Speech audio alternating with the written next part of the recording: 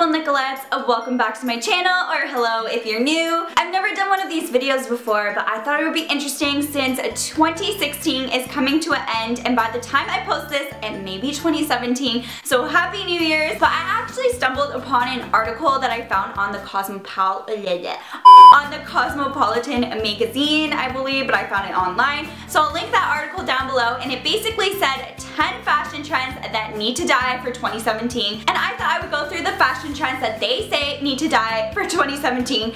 And this video is no means supposed to be negative or anything. If you wear any of these trends, you do you boo because I'm gonna be completely honest. Some of the trends that I'm gonna be stating, I may be, I, I I may wear some of them, not gonna lie. I do really like some of the trends, but it was interesting to see. If you guys want me to do a beauty trends that need to die for 2017, a thumbs this up, and I would love to do one for you guys. Let me know in a comment down below what was your favorite fashion trend of 2016, and what fashion trend was your least favorite of 2016. I would love to know. And as well as I do this thing every single video, and that is if you go over right now to my Instagram, you follow me, and you tell me you're coming from this video, I will go spam your accounts as long as you're not private. So make sure you're not private. Don't do that to me. Just don't do it, girl. Don't do it. Let's just jump into the trends. Before I say all these trends, I want you guys to also let me know which trends in this video you think need to go or you want to stay. I would love to know.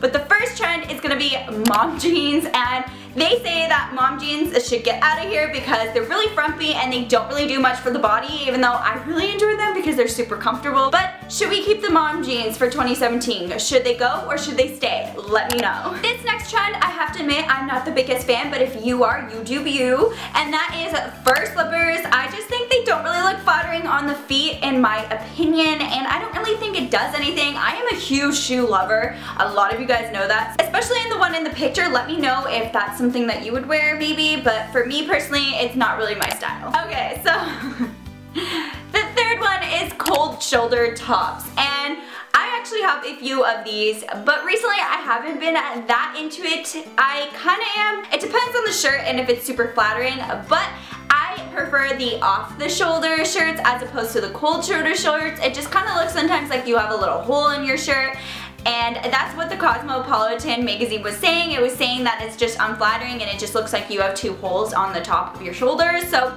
I don't know, but sometimes I think it can look super cute. So in the middle for this one. The next one is luxury purses with faces and I do think this one's a little bit weird. I don't really think I would spend a lot of money on a purse with a face on it because these are luxury purses so I don't think you'd catch me spending thousands of dollars on any purse but one with a face and no thank you. You could definitely tell that these purses are kind of like a fad so they're gonna go out of fashion so I really wouldn't spend thousands of dollars on something that's just gonna go out of fashion.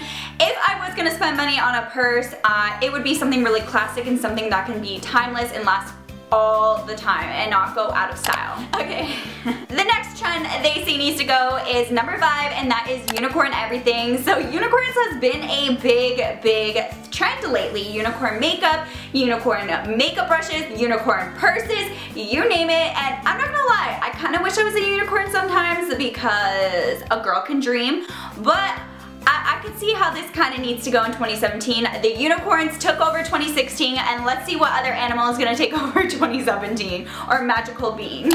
oh my gosh, yeah. So number six is Kanye West fashion shoe, shoes shoes, no. Kanye West fashion shows, and I gotta admit, they kinda gotta go. I don't know, they're a little bit weird to me, his fashion. I kinda like some of his pieces, but the fashion shows are just a little strange to me. They're not one of my favorites, but you let me know what you guys think. I'd love to know your opinions on it, if you love it. I don't know, I'm not that into Kanye West fashion shows, but that could just be me. I don't know. Is anyone else with me? Let me know so I'm not alone. Okay, this next trend that the Cosmo said needs to go Okay, I'm not gonna lie. I wear this quite a lot and that is lace-up bodysuits. Guys, I love the lacy thing. Can I just say, out of all the trends, can this please not leave for 2017 because your girl just spent money and bought another lace-up shirt because that has been my jam this whole year and I love that trend. I don't know what it is about laces. It just looks so cute. Let me know if you guys are over it now because it has been going around for a while so I could see it kind of leaving eventually because it's been going around the fashion world for a bit now and it might be a little overdone. This trend is a trend that I actually personally have never done, but I see a bunch of YouTubers do it and I kind of think it looks cute on them, but whenever I try it, it just does not look good on me. And that is wearing slips over t-shirts. I kind of like the slips, but I don't know how I feel about wearing a t-shirt underneath the slip. I don't know if that's just me, but sometimes people can pull off such cute outfits with it, but it just, it, it it gotta go for me because it doesn't work on my body. Number nine is high-end tour merchandise. So you see a ton of even celebrities wearing people's tour merchandise with like really fancy heels and stuff like that or wearing really big sweatshirts with long and thigh-high boots and all that. I think it's kind of cute, but I think it's too overdone. And to be honest, I'm not really a fan of this one as well because I don't know, I just don't really think it does anything for the body and I don't really collect tour merch stuff, so maybe if you're a fan, you, you know, you can rock it, girl. But for me personally, I think that's gotta go. Number 10, and the last trend that needs to apparently go to Cosmo is a fitness trackers. And I think so cute because so many of us wear fitness trackers, and let's be honest, we just walk around and we're like, oh my god, I took 2,000 steps, but we don't even actually exercise.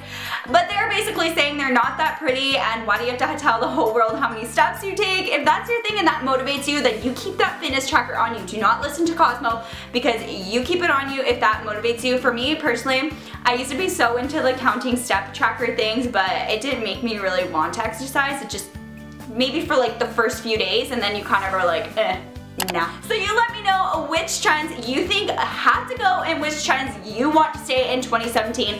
Let's have a little discussion in the comment section. I will answer back to your comments. I do my best to answer to as many of you guys. Don't forget to give this a thumbs up if you guys want me to do a beauty trends that need to die for 2017 because this has been a huge year for beauty trends, I think. So let me know. But don't forget to click that subscribe button down below to join the Nicolette Fam Jam because your girl uploads every other day here on my channel.